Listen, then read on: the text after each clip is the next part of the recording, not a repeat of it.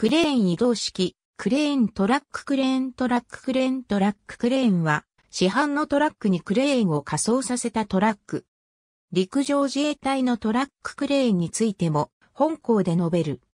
1955年、国産初の油圧式、トラッククレーンオークルマイナス -2 型が完成。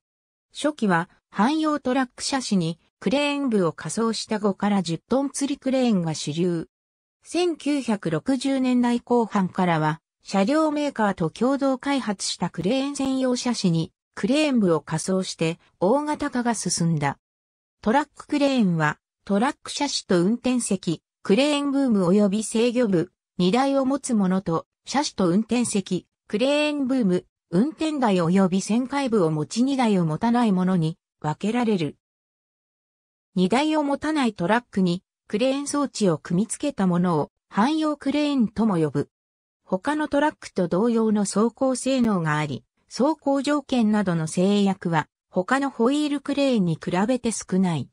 また、荷台と運転席の間に組み付けるタイプのクレーンは、キャブバッククレーンと呼び、代表的なメーカーのブランドからユニックと呼ぶことが多い。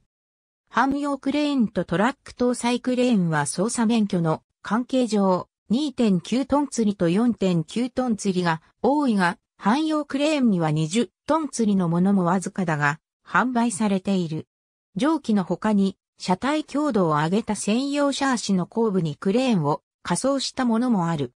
こちらもトラッククレーンだが、日本国内では以下に述べるラフテレーンクレーンとオールテレーンクレーンに置き換わりつつある。ラフテレーンクレーンは、その名が示す通り、もともとは不整地の走行にも対応できるホイールクレーン。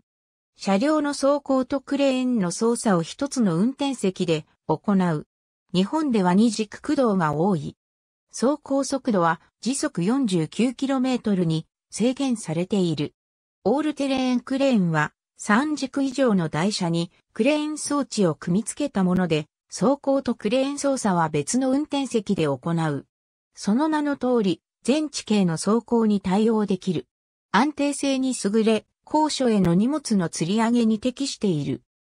総重量8トン以上の大型自動車に該当する車両で荷台を有する車両は時速 90km リミッターの装着が義務化されているため最高速度は時速 90km に規制されている。現在はトラッククレーンの需要は減りつつあり、専用シャーシを生産していた各社は事実上生産を中止している。しかし、ラフテレーンクレーンやオールテレーンクレーンと異なり、高速道路を走行できることや、走行中のキャビンの居住性が高いことなどから、市販のトラックをベース車とするトラッククレーンの製造は継続している。また、車格が4トントラックに相当するラフテレーンクレーンよりもさらに小回りの利く2トントラックベースのトラッククレーンも製造されている。陸上自衛隊のトラッククレーン陸上自衛隊のトラッククレーンは主に施設科に配備される装備である。民間のトラッククレーンは、運転席と操作室が別々のものを指すが、陸上自衛隊では、運転席と操作室が同一で、作業時に乗り換える必要のないラフテレーンクレーンと呼ばれるタイプのクレーンも、すべてトラッククレーンと呼称する。災害派遣はもとより、戦闘行動に伴う築城作業などにも使用される。20トンから25トンクラスでは、車体長が抑えられ、最小回転半径が小さいラフテレンクレーンタイプのものが適しており、共和位置での作業も多い演習場での使用に威力を発揮する。一方で、大型の50トン、60トンクラスのクレーン車は、ラフテレンクレーンの車体の小ささがデメリットとなるため、未だトラッククレーンが主流である。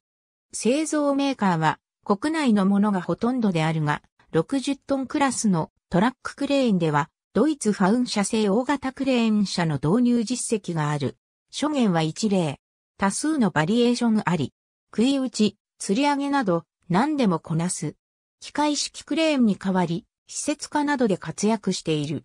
最小回転半径が5メートル未満という重機にしては小回りが効くことも特徴の一つであるが、これは四輪操舵によるところが大きい。加藤製作所。ありがとうございます。